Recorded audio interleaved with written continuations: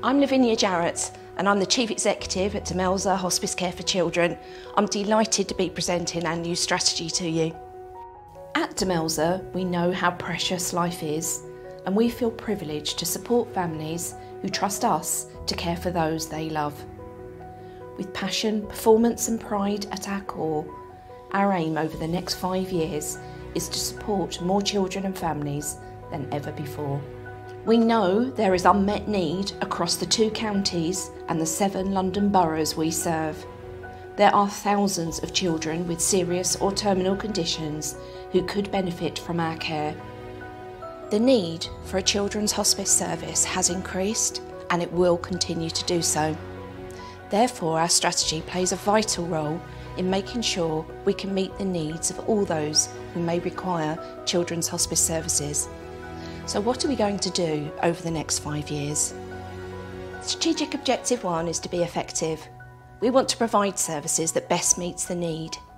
We will work hard to understand the areas in which we work and we will involve children and families in our decision making. Listening to those children and families is part of the strategy, and we will continue to develop ways of doing this over the next five years. Strategic Objective 2 is to be responsive. We will strive to understand what our families need to feel supported and offer more choice of type and place of care and how it can be accessed. We know that with advances in medical science, babies, children, and young people are surviving with increasingly complex needs. We know there's a growing population of young people aged 16 to 25 who need support into adulthood and into adult services. We also know that there's an increased prevalence of babies under one year of age who need hospice care services. That's why we're determined to extend our reach, Strategic Objective 3. We want to ensure our caseload reflects the demographic of the areas we serve, particularly diverse and minority groups. This is an incredibly important development for Demelza, to be as inclusive and welcoming to every walk of life, every religion or belief, every colour and ethnicity. Strategic Objective 4, We Are Demelza. From our hospices to our shops, we have a team of fantastic people who all make Demelza a great place to work. We couldn't do the work we do or have the impact on the lives of children and young people without our people.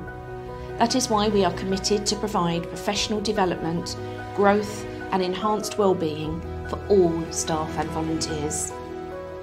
Strategic Objective 5 is to strengthen and sustain Importantly, we're going to grow responsibly. We will be here for the future needs of children and families who need our services, and we will grow those services to be sustainable way beyond the life of this strategy. Underpinning all our work is a digital transformation strategy that will help Demelza build capacity to deliver more services to children and families. Demelza has emerged from the pandemic more agile and responsive providing services when and where they are needed and providing choice. But there is so much more to do.